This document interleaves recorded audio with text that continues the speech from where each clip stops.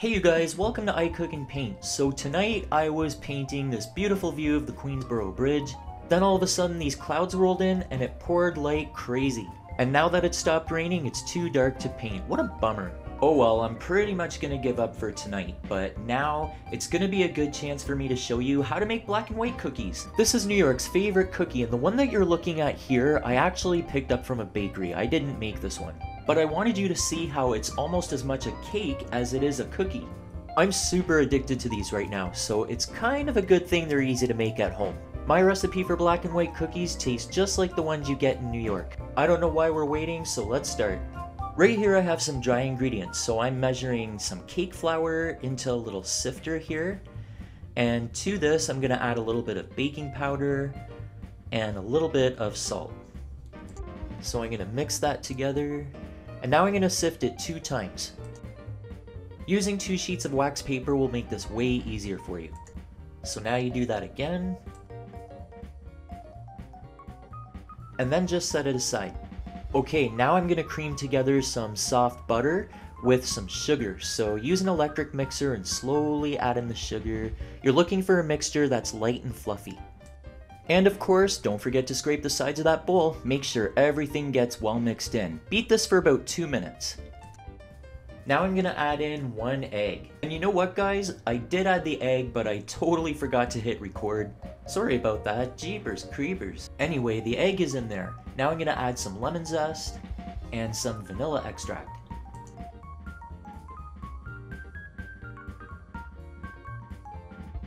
Okay, now we're gonna take our dry ingredients and add them alternately with our milk.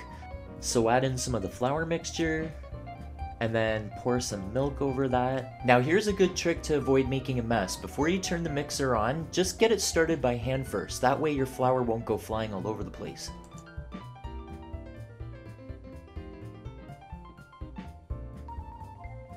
This is a part of the recipe that you're to have to scrape down the bowl a lot. Do this in about 3 or 4 stages.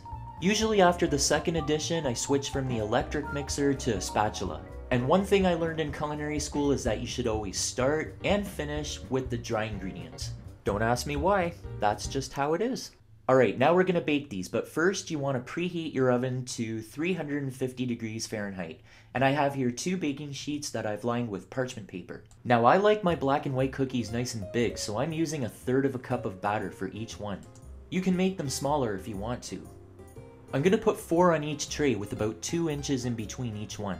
And now I'm going to take some cold water and dip my finger in it and press each cookie down slightly. So you want each one of these to be about 3.5 inches in diameter. Now these are going to go into the oven and we're going to bake them for about 12 to 15 minutes. It really depends on what your oven's like. You'll know they're ready when they spring back a little bit when you press on them. You're almost better off slightly under baking them than over baking. You want to let them cool for about 5 minutes on the baking sheets and then remove them onto racks to cool completely. These have to be totally cooled before we put the frosting on. They don't look very exciting now, but give it a chance.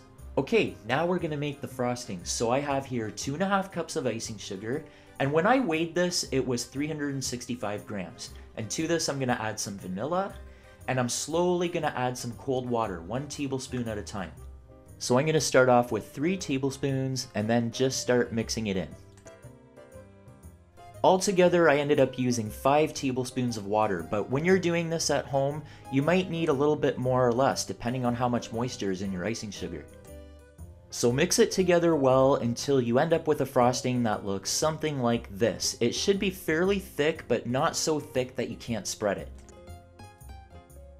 Okay, by now your cookie should be cooled completely, and this is the side we're going to spread the icing on. It's the ugly underside. So now spread half of each cookie with the white frosting. Don't try and make this look too perfect, it's going to make a big difference when the chocolate goes on. And don't be afraid to let that frosting drip down the sides because they look better that way. And now we're going to add some cocoa powder to the already existing white frosting to make it chocolate. So it's a good idea to sift it because cocoa powder can be pretty lumpy. If you get a lot of lumps of cocoa in your frosting, they're really hard to get rid of, so definitely sift it.